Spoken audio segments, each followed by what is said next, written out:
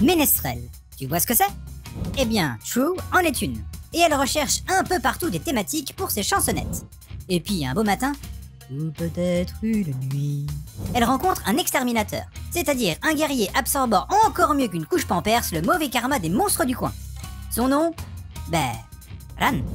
D'où le titre du manga, Ninuche. Mais Ran et ceux de son ordre ne sont pas vraiment super bien considérés par les autres du coin. Ce qui va donner à True l'idée d'écrire une balade sur lui. La balade de Ran. Mais oui, le titre, le titre. De la pure dark fantasy d'Osawa Yusuke, l'auteur de Green World, et le tout en deux tomes. Voilà ce que c'est la balade de Ran.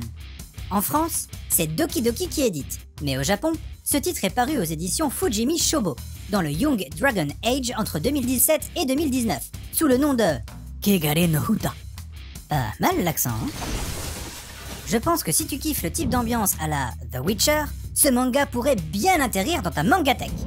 Avec de bons gros fights bien spectaculaires, hyper bien travaillés graphiquement, la balade de Ran propose un véritable régal pour les mirettes.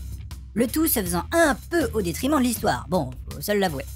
Ouais, c'est un peu basique comme délire. Bon, le fait d'utiliser l'écriture d'une chanson comptant la vie de Ran était une bonne idée, mais peut-être pas suffisamment bien exploitée. Heureusement, le tome 2 développe tout de même un peu plus tout ça. La note de Manga News, 12 sur 20. Et si t'as aimé te balader avec Ran, essaye également The Witcher, Green World, Alpi the Soul Sender. Qui écrira un jour une chanson sur mes aventures? En tout cas, si ça t'intéresse, abonne-toi, like, commente, partage. Je compte sur toi.